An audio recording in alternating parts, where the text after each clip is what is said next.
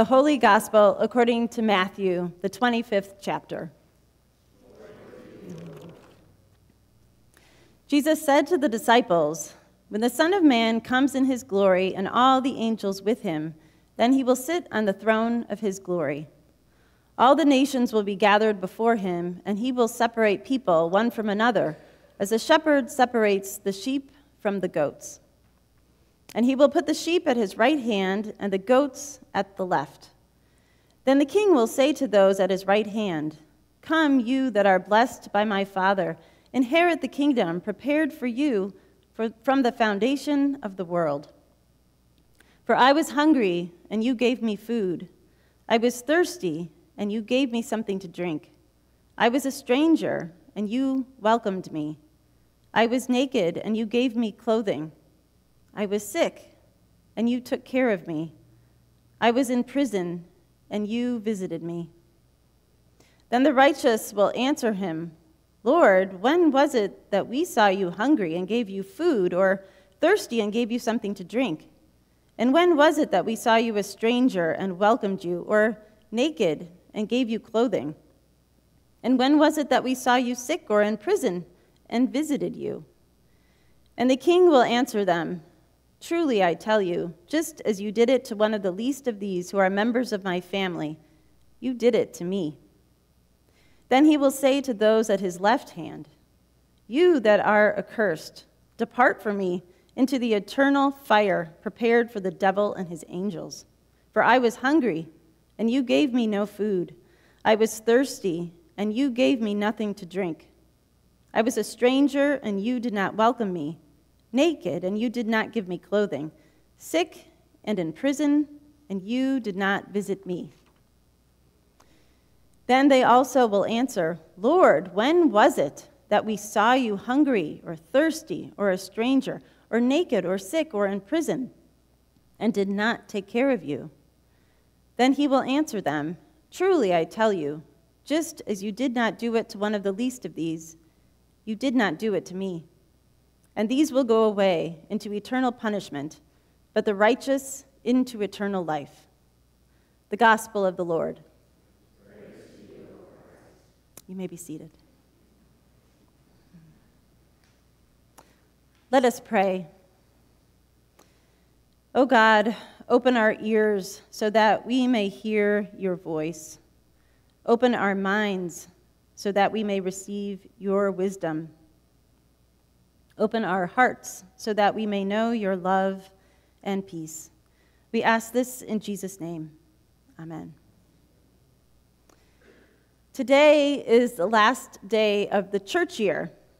It's a feast day called Christ the King or Reign of Christ Sunday, when we remember that God rules over all things.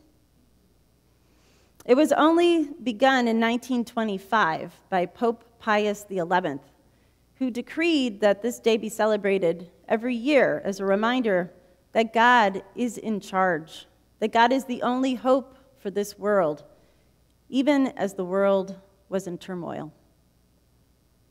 Today, we also can remember that God is making all things new. God is transforming all things, and that includes us. God's kingdom is breaking into the world even today, even as we might sometimes feel like life is spinning out of control. In our gospel text for today, Jesus is telling his disciples what the kingdom of heaven will look like. This text is a continuation of Jesus' parables that we've heard the last two Sundays the parable of the ten bridesmaids and the parable of the talents. Today's text is often called the parable of the sheep and the goats. In her book, Short Stories by Jesus, the enigmatic parables of a controversial rabbi, New Testament and Jewish studies professor Amy Jill Levine notes two important things to remember when we read parables. Number one, each person will hear a distinct message.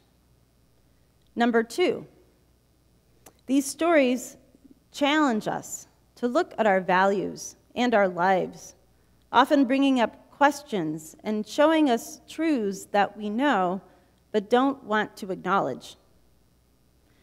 In other words, parables are not just cute, entertaining stories with simple meanings. We are meant to think about them, wrestle with them, see ourselves in them, and learn from them. Jesus tells his disciples that when the Son of Man will come with his angels and sit on his throne of glory, the nations will be gathered around him, and he will judge them. This image likely seems in line with what we would expect a ruler to do, but the next part doesn't. The Son of Man separates the people, like sheep from goats. He says to the sheep that they are blessed by God and will inherit the kingdom prepared for them because they cared for him when he was hungry, thirsty, a stranger, naked, sick, and in prison. The sheep are baffled and ask, When did we do that? The Son of Man tells them that when they cared for the hungry, the thirsty, the stranger, the naked, the sick, and those in prison, they actually cared for him. The Son of Man refers to these people as the least of these, but also as members of his own family. The Son of Man then turns to the goats and tells them that because they didn't take care of him, that they are accursed and will go to eternal punishment. The goats are also baffled and ask, when did we do that? The Son of Man responds, Just as you did not do it to one of the least of these, you did not do it to me. When I use Levine's guidance about reading parables, I see that this parable makes me want to be right and avoid negative consequences. This parable also makes me wonder when do I ignore my suffering neighbor? When do I judge people and separate them into categories? When do I not see God's face in the face of my neighbor? How do I exclude others from the kingdom of heaven? In this text, we see Jesus' compassion for the poor, the vulnerable, and the marginalized. But Jesus goes a step further and says he is the poor, the vulnerable, and the marginalized. We might think of other people in our society today who are vulnerable and marginalized. We know that in his time, Jesus reached out to those who had little power or status. So we can imagine Jesus also caring about such people in our society today. Our list might include people who use or are addicted to substances, people who are bullied or abused, those living with mental illness, those who identify as LGBTQ, those who are unhoused, people of color, people who are differently abled or chronically ill. And those who have been incarcerated. I'm sure you can come up with others. In thinking about how God calls us to reach out to the vulnerable in our own time, I'm reminded of the covenant we make in our baptism. Part of this covenant says that we will serve all people, following the example of Jesus, and that we will strive for justice and peace in all the earth. A shorter way of saying this is the ELCA tagline that we know well God's work, our hands. The care that Jesus describes in our gospel reading today is personal, it's hands on and up close. There's no looking away from the need, There's no working through a third party. I was hungry, and you gave me food. I was thirsty, and you gave me something to drink. I was a stranger, and you welcomed me. I was naked, and you gave me clothing. I was sick, and you took care of me. I was in prison, and you visited me. This is ministry of presence, of being with people in their suffering. This is hard, isn't it? Our instinct might well be to distance ourselves. One person who we might say exemplified being with people in their suffering is Mother Teresa.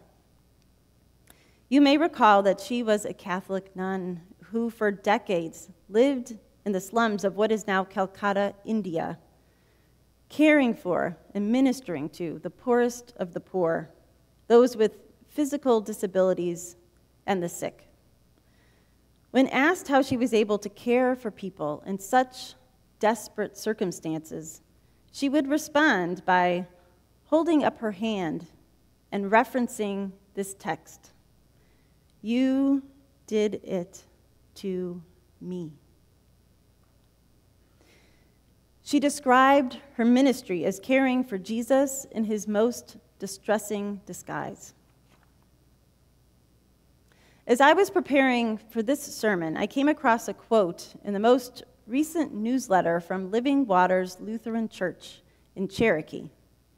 Many of you likely know that Grace is in ministry partnership with Living Waters, which compassionately serves its community on the Qualla boundary, providing food, clothing, and other resources.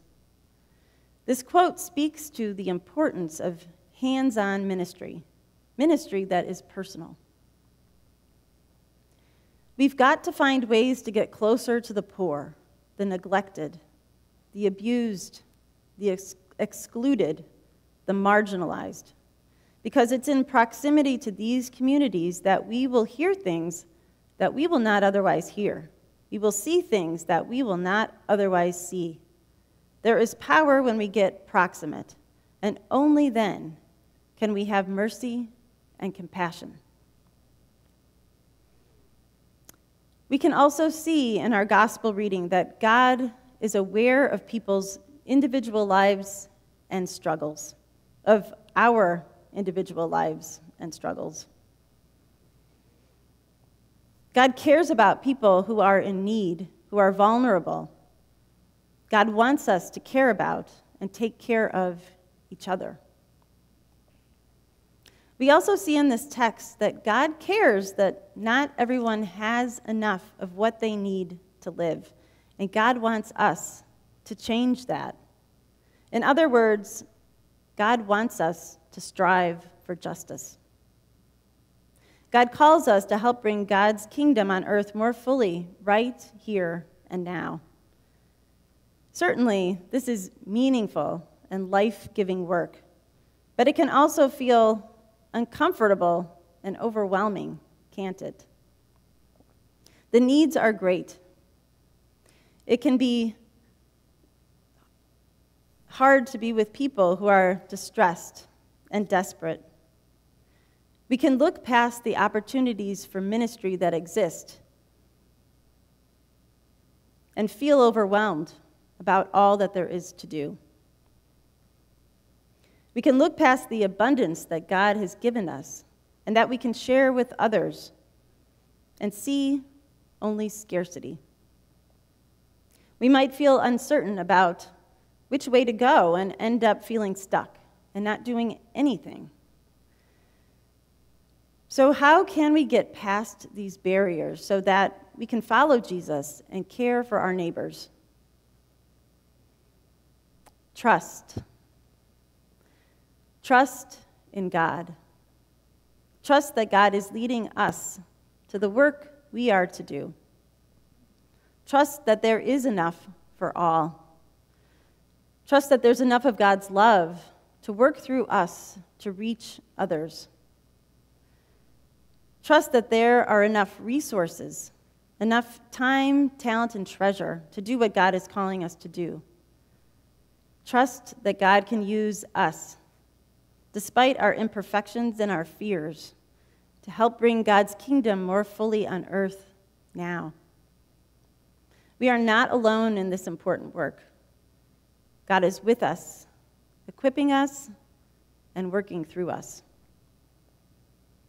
In a short while, we will say together the Lord's Prayer, including these words Your kingdom come, your will be done, on earth as it is in heaven. What does this familiar sentence look like in our lives? How do you, or could you, care for your vulnerable or marginalized neighbor? How do you, or could you care for your neighbor in a way that is personal, hands on, up close? I'd love to talk with you about this, to hear what helping to bring God's kingdom more fully on earth now means or could mean in your life or in the life of this congregation. In closing, here are a few words from St. Teresa of Avila that summarize our gospel reading and our calling. Christ has no body but yours, no hands, no feet on earth but yours. Yours are the eyes with which he looks with compassion on this world. Yours are the feet with which he walks to do good. Yours are the hands with which he blesses all the world. Amen.